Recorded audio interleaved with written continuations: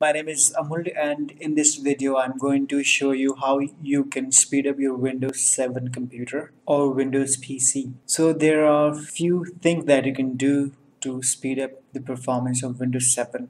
So first thing we will go ahead and uh, perform troubleshooting. So go to start menu then you go to control panel and here you type troubleshooter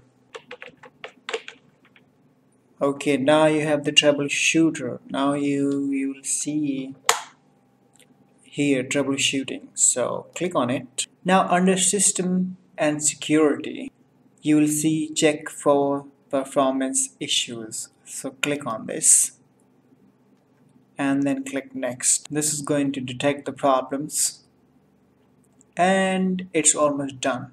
Explore for additional options well that's perfect.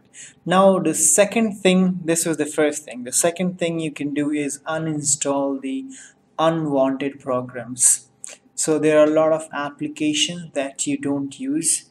You can go to start menu then control panel. From here if you do not see these categories you can change it from here. You maybe have this one or this one on your PC but you can change it to categories and then go to programs. Under programs you have uninstall a program.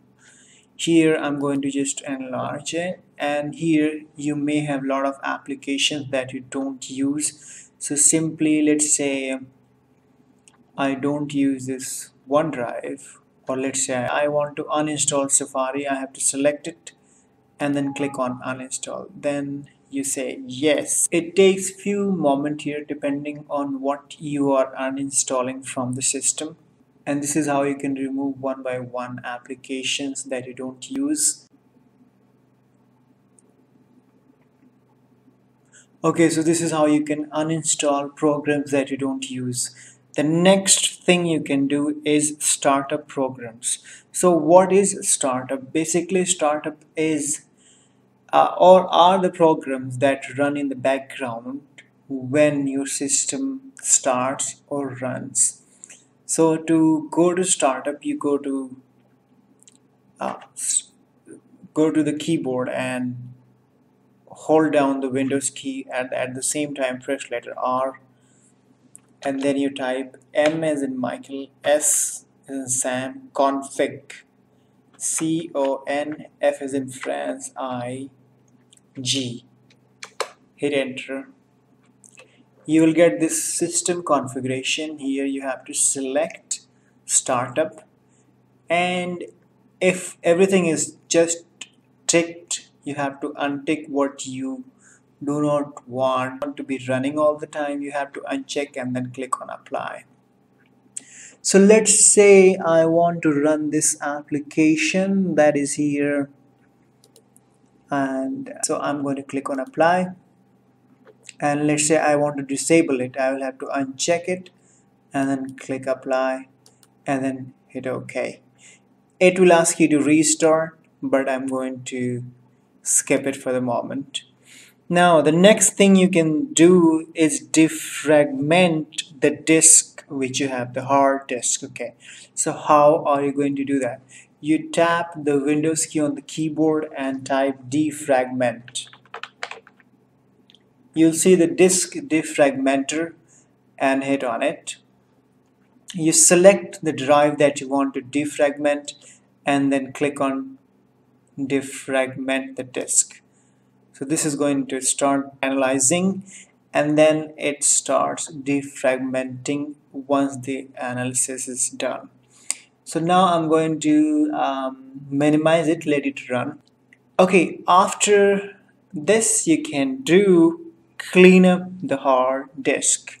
So how can you clean up? Tap on the Windows key and type disk cleanup. So you'll get disk cleanup on Windows that's inbuilt software and then select the drive where your operating system is and then click OK. This may take few minutes depending on how often you do a cleanup. uh, this is recommended to do like every week and then you can check whatever you want to delete and then uh, it's nothing your personal um, here we go. And then click OK. Asking for your permission. Delete going to delete permanently. So that has been deleted. And the next the next thing you can do turn off the visual effects. So to turn off the visual effect you go to start menu control panel. So you type here perform so you'll get performance information and tools. Click on this and here if you see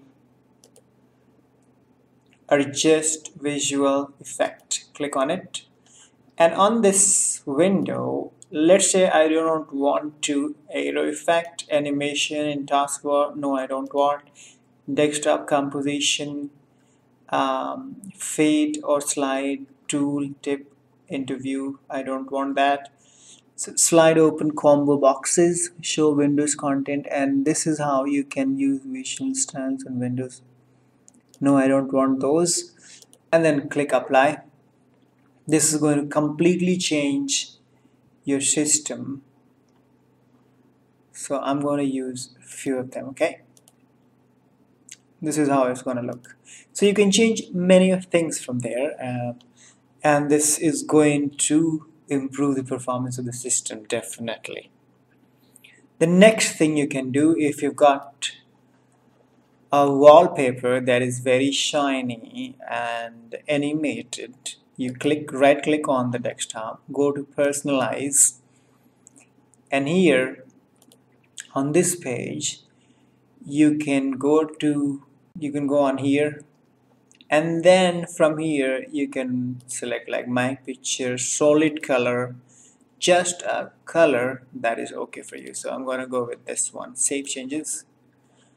And if you go back here you'll get a different color. So I'm going to change it to dark one okay? So background and then let's go with this one. I think this is okay. And then save changes.